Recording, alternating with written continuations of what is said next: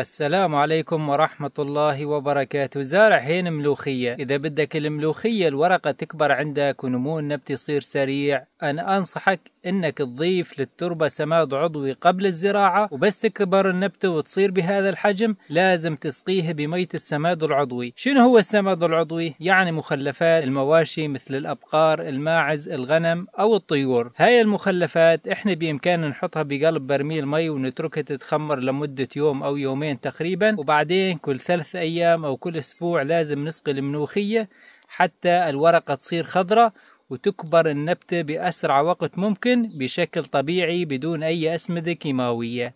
هاي أفضل طريقة حتى تكبر عندك ورقة الملوخية والنبتة تكبر ما تعجز. الملوخية تنزرع من خلال البذور.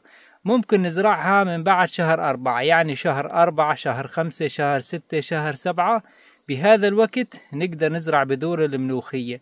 وأهم خطوة بزراعة بذور الملوخية لازم أول ما نزرع البذور ما نكثر من البذور لأن لو كثرنا من البذور راح تطلع النباتات فوق بعضها وراح تاخذ الغذاء من أمام بعضها وبهاي الحالة النبتة بدها تتغزم وبدها تصفر أوراقها وما راح تكبر وبدها تزهر وتعجز على بكير. لذلك أخوتي أهم خطوة أنه ما نكثر من البذور.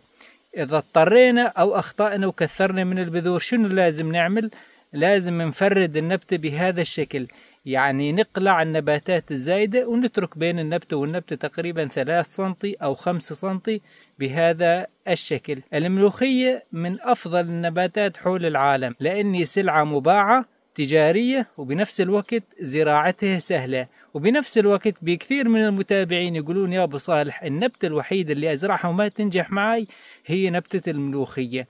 وأهم أسباب أنه ما تنجح معاهم نبتة الملوخية يكثرون من البذور أو أول ما تنبت عندهم النبتة يكثرون من السقاية وبهاي الحالة النبتة أوراقها تصفر ويتوقف نموها. راح أشوفكم أنا شلون عم أسقي نبتة الملوخية حتى تكبر عندي. هذا هو البرميل مثل ما لكم شايفين أخوتي. هذا البرميل أنا حاطط فيه كيس سماد عضوي بهذا الشكل. خمرته لمدة ثلاث أيام تقريبا وبعدين أضفت فوقيته المي بهذا الشكل. هاي هي المية النظيفة أخوتي مثل ما لكم شايفين مضافة للبرميل. وهذا النبريش الثاني عم ناخذ منه نسقي النبتة مثل ما راح أشوفكم.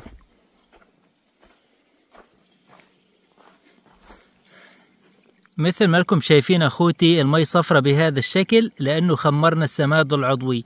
وأنا ضايف على البرميل مي نظيفة بقدر ما لي ماخذ منه مشان تظل عندنا العملية شغالة بهذا الشكل.